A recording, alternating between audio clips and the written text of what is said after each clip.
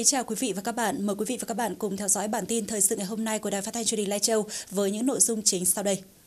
Xã Bản Giang chung tay phòng chống dịch Covid-19. Xã Nậm Quẩy, huyện Sinh Hồ giảm nghèo từ các chính sách hỗ trợ của nhà nước.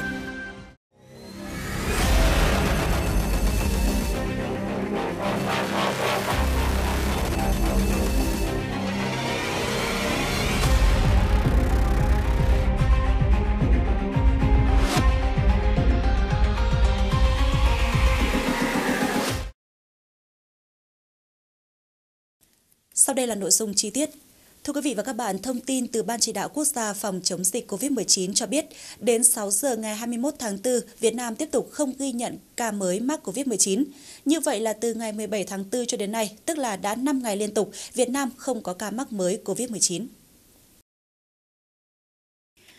Trong số 268 ca mắc COVID-19 tại 28 tỉnh, thành phố đã được ghi nhận, có 160 người từ nước ngoài, chiếm 59,7% và 108 người lây nhiễm trong cộng đồng, chiếm 40,3%. Riêng trong ngày 20 tháng 4 đã có 12 bệnh nhân được công bố khỏi bệnh, nâng tổng số ca được chữa khỏi lên 215 ca. Với 5 ngày liên tục không ghi nhận trường hợp mắc mới COVID-19, cho thấy tình hình dịch bệnh hiện nay tại Việt Nam đang được kiểm soát tốt, cũng như hiệu quả của việc thực hiện cách ly xã hội trong những tuần vừa qua. Tuy nhiên, theo các chuyên gia y tế, cần tiếp tục giám sát chặt chẽ các ổ dịch mới phát hiện như tại Hạ Lôi, Mê Linh, Hà Nội và ra soát theo dõi các trường hợp tiếp xúc gần với các ca nhiễm mới gần đây. Bên cạnh đó, do dịch đã lây lan ra cộng đồng nên vẫn tiềm ẩn các nguy cơ lây nhiễm và có thể bùng phát thành ổ dịch bất cứ lúc nào. Đòi hỏi các cơ quan y tế, chính quyền địa phương và mỗi người dân cần tiếp tục triển khai các biện pháp phòng chống dịch tích cực, nâng cao ý thức phòng bệnh của mỗi cá nhân, không được phép chủ quan lơ là.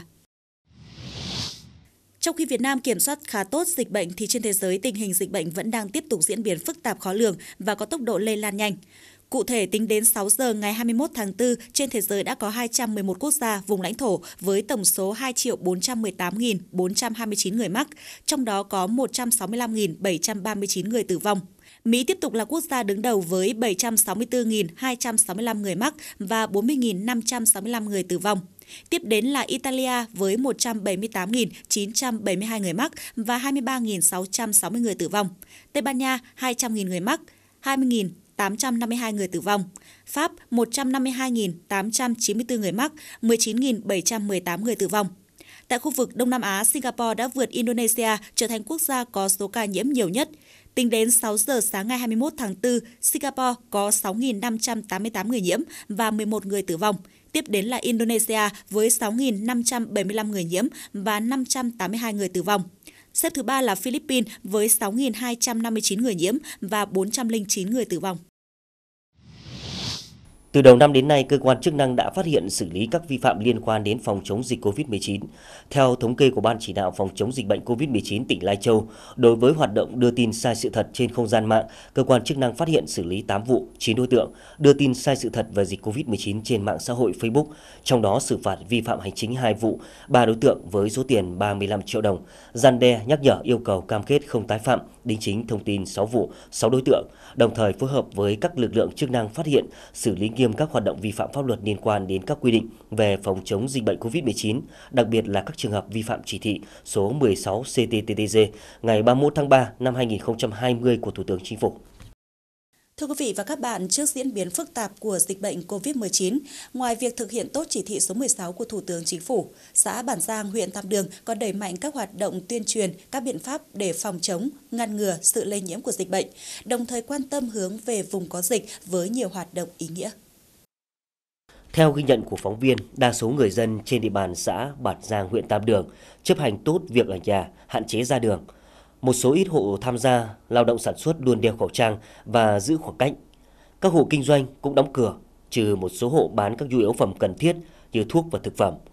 Người dân cũng ít trò chuyện trao đổi hơn so với trước khi có dịch. Bây giờ tôi chỉ mà tuyên truyền à, phải à, vệ sinh sạch sẽ à, rửa tay bằng xà phòng. Và thứ hai là không được tụ tập đông người và không được đi đâu. À, thứ ba thì bây giờ đây dịch bệnh nên nhà tôi đã cách ly à, không được đi đâu hết phải ở nhà thôi.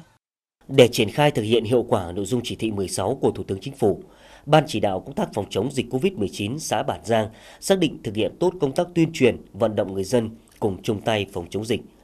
Các tổ chức đoàn thể như đoàn thanh niên, hội phụ nữ xã chủ động phối hợp với trạm y tế xã xuống từng hộ gia đình tuyên truyền, vận động người dân chấp hành thực hiện chỉ thị 16 của Thủ tướng Chính phủ, vận động người dân ở nhà hạn chế ra ngoài trừ khi có việc cần thiết. Khi ra ngoài phải đeo khẩu trang và giữ khoảng cách tối thiểu 2 mét khi giao tiếp chỗ đông người theo đúng quy định. Hướng dẫn người dân rửa tay đúng cách và vệ sinh nhà cửa thông thoáng để phòng chống dịch, đồng thời cử cán bộ xã đến từng bản để tổ chức chương trình phát khẩu trang, xà phòng, nước diệt khuẩn miễn phí cho hộ nghèo, hộ cận nghèo, hộ khó khăn phòng chống dịch bệnh COVID-19. Xã thì chúng tôi đã tăng cường liên tục làm tốt cái công tác uh, tuyên truyền uh, cho bà con nhân dân là uh, về cái cái các cái, cái biện pháp phòng chống cái, cái dịch bệnh, đồng thời là là là thực hiện tốt cái cái cái chỉ thị 16 và chúng tôi đã cắt cử toàn bộ các cái đồng chí nằm trong ban chỉ đạo thường xuyên túc trực ở các bản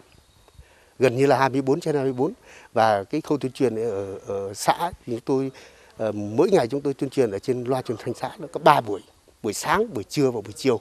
nội dung là tuyên, tuyên truyền về cái chỉ thị 16 của Thủ tướng Chính phủ để đảm bảo là cho bà con là hiểu được bà con tự nguyện ờ, chấp hành theo cái nội dung của chỉ thị đấy. Song song với công tác tuyên truyền, các ngành đoàn thể xã còn phối hợp tuyên truyền hướng về vùng có dịch với các hoạt động quyên góp từ thiện được cán bộ đến các tầng lớp nhân dân trong xã nhiệt tình hưởng ứng. Dân à, xã Bản Giang, chúng tôi đã tuyên truyền, vận động, ủng hộ được là trên 20 triệu đồng và các những yếu phẩm như là gạo, mì tôm, đấy, khẩu trang, nước muối sinh lý, sữa để à, ủng hộ cho phòng chống dịch COVID-19. Trong thời gian tới, chúng tôi sẽ gửi các cái yếu phẩm à, tới cái vùng dịch để chung tay đẩy lùi cái dịch là COVID-19.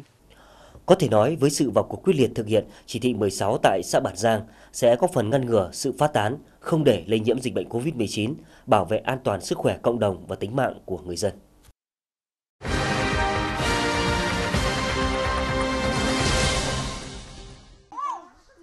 Trong những năm qua, công tác tuyên truyền nâng cao ý thức người dân về các biện pháp phòng chống bệnh dạy cùng với công tác tổ chức tiêm vaccine dạy cho chó mèo luôn được phường Quyết Tiến thành phố Lai Châu quan tâm chú trọng.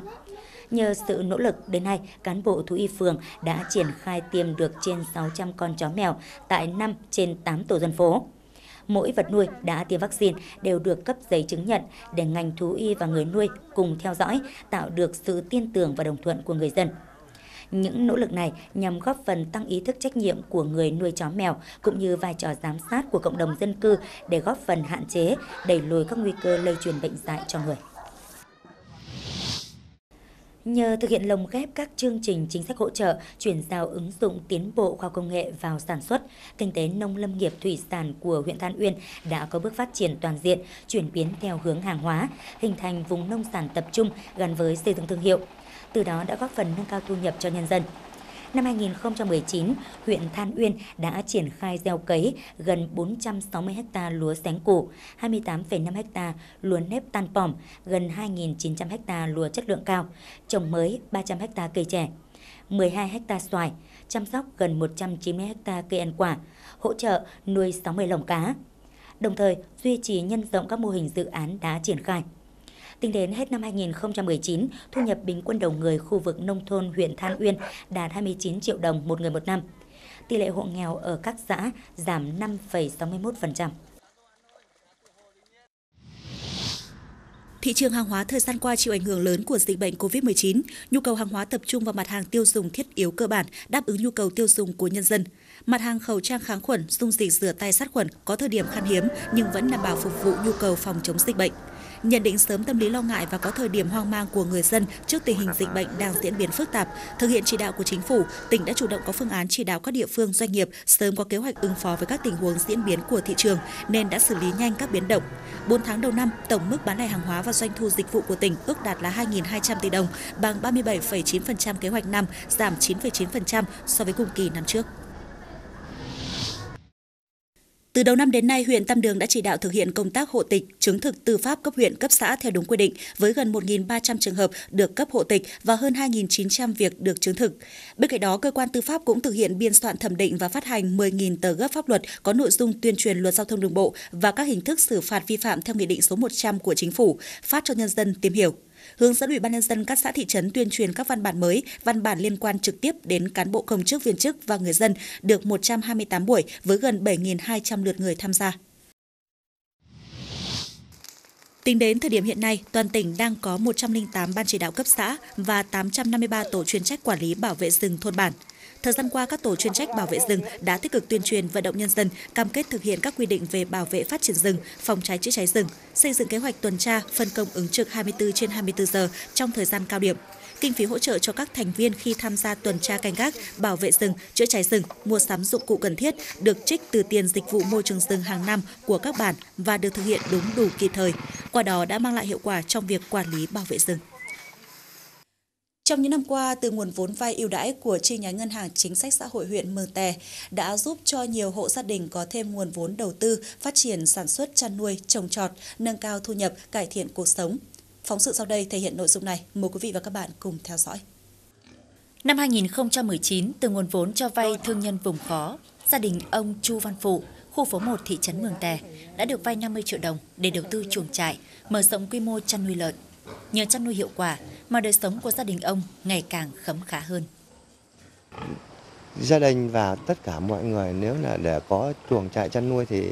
gia đình nào cũng phải cái là muốn cái là càng ngày càng phát triển thêm. Đấy. Mà phát triển thêm thì nó phải có cái là tiền. Thế bây giờ cái là nói chung là chính sách nhà, nhà nước mà có cái chính sách mà hỗ trợ cho gia đình tập thể cái gia đình chăn nuôi thì cái là nếu mà hỗ trợ được thì cái là cho gia đình được ừ, nhiều hơn nữa thì gia đình cũng mong muốn là nhiều hơn nữa để cái là mở rộng chăn nuôi thêm hơn. Tính đến thời điểm hiện tại, tổng dư nợ chi nhánh Ngân hàng Chính sách Xã hội huyện Mường Tè đạt 242 tỷ đồng với 2.269 hộ vay, với nhiều chương trình ưu đãi như cho vay hộ nghèo, cận nghèo, cho vay giải quyết việc làm. Thông qua nguồn vốn và ưu đãi, nhiều hộ gia đình đã có thêm nguồn lực đầu tư sản xuất, từng bước thay đổi các tập quán canh tác cũ, xây dựng mô hình kinh tế mới, hiệu quả hơn. Trong à, thời gian tới thì Phòng giao dịch Ngân hàng Chính sách Xã hội huyện Mường Tè cũng sẽ tiếp tục tham mưu cho cấp ủy chính quyền địa phương à, thực hiện tốt các cái nhiệm vụ phát triển kinh tế à, xã hội tại địa phương cũng như là làm tốt công tác tín dụng chính sách xã hội và tích cực tham mưu cho cấp ủy chính quyền địa phương thực hiện cái thực hiện cái chỉ thị 40 về việc tăng cường sự lãnh đạo của Đảng đối với tín dụng chính sách xã hội trên à, địa bàn huyện. Bên cạnh đó thì chúng tôi cũng à, sẽ tích cực phối hợp với các cái tổ chức ừ, chính trị xã hội nhận ủy thác trong đó có hội nông dân, hội phụ nữ, đoàn thanh niên và cựu chiến binh cũng như là các cái uh, chính quyền địa phương ở các xã uh, tiếp tục làm tốt công tác ủy thác qua các tổ chức hội để làm sao uh, tín dụng chính sách xã hội nó sẽ phát huy được cái hiệu quả tốt nhất. Với những kết quả đã đạt được, có thể nói Ngân hàng Chính sách Xã hội huyện Mường Tè đã góp phần thực hiện hiệu quả công tác giảm nghèo, xây dựng nông thôn mới của địa phương, đồng thời đảm bảo an sinh xã hội, an ninh trật tự trên địa bàn. Thưa quý vị, thực hiện chính sách đối với các hộ nghèo, đặc biệt là các hộ nghèo tại các thôn bản đặc biệt khó khăn. Trong những năm qua, thì xã Nậm Quầy của huyện Sinh Hồ đã dành nhiều nguồn hỗ trợ của nhà nước để giúp cho các hộ khó khăn vươn lên phát triển kinh tế, xóa đói giảm nghèo. Cùng với chính sách hỗ trợ từ chương trình 135-167, nhiều hộ dân trong xã Nậm Quẩy, huyện Sinh Hồ cũng đã được tiếp cận nguồn vốn vay từ Ngân hàng Chính sách Xã hội huyện. Phần lớn các hộ vay đều triển khai mua châu bò sinh sản thông qua nguồn quỹ hỗ trợ, nhiều hộ đã mở rộng mô hình kinh tế để nâng cao đời sống vật chất các hộ khó khăn. Trước đây, gia đình anh Lò Văn Bình, bản Phiêng Phai, xã Nậm Quẩy là hộ nghèo. Được sự quan tâm của Ngân hàng Chính sách, năm 2015, gia đình anh đã được vay vốn ưu đãi với tổng số tiền là 30 triệu đồng. Có số tiền trên, gia đình anh đã mua trâu sinh sản. Đến nay, anh đã có 3 con trâu. Nhờ nguồn vốn vay ưu đãi, đến nay gia đình anh Bình đã ra khỏi hộ nghèo. Tôi cũng giờ tôi cũng vay vốn về mua trâu là lang chăm sóc trâu ạ, lang nuôi trâu ạ. Ừ, giờ mong sau này con trâu phát triển nhiều ạ. Tính đến nay, xã Nậm Quẩy đã có hàng trăm hộ được vay vốn ngân hàng chính sách xã hội với tổng dư nợ khoảng gần 20 tỷ đồng. Hầu hết các hộ vay đều để mua châu bò sinh sản, các hộ còn lại vay về làm nhà, làm công trình vệ sinh. Để nguồn vốn vay từ ngân hàng chính sách xã hội phát huy được hiệu quả, tổ vay vốn tiết kiệm cùng với xã thường xuyên tổ chức kiểm tra, giám sát các hộ dân sử dụng có hiệu quả nguồn vốn. Đến nay hầu hết các hộ dân đã phát huy hiệu quả nguồn vốn vay. Đấy, từ khi có ngân hàng chính sách xã hội và chủ trương đảng nhà nước quan tâm đến bà con nhân dân thì uh, cái hộ gia đình khó khăn cũng không có rau ờ, sản xuất thì gia đình cũng là vay vốn ngân hàng chính sách xã hội rồi đi mua rau vỏ sinh sản về ờ, cày vừa để làm bảo cuộc sống uh, sản xuất uh, phục vụ trong gia đình. Đấy, hàng năm thì cũng uh, gia đình cũng uh, nộp uh, lái uh, theo quy định của nhà nước cũng cũng uh, tỷ lệ xã cũng hàng năm thì nó đánh giá về ngân hàng chính sách xã hội ờ, huyện ờ, tỉnh thì xã cũng đạt được cái loại ờ, xã nâng cao về thu nhập về lãi suất thì thì rất là tốt đấy thì hiệu quả rất là cao có thể nói từ nguồn hỗ trợ này cũng là một trong những động lực để hỗ trợ cho các hộ nghèo mua giống cây trồng, vật nuôi để phục vụ sản xuất cho gia đình. Để nguồn hỗ trợ này phát huy được hiệu quả khi triển khai chính sách, xã cũng như các tổ trưởng tổ vay vốn đã tuyên truyền vận động các hộ sử dụng nguồn vốn để về mua giống phục vụ sản xuất, tránh sử dụng sai mục đích.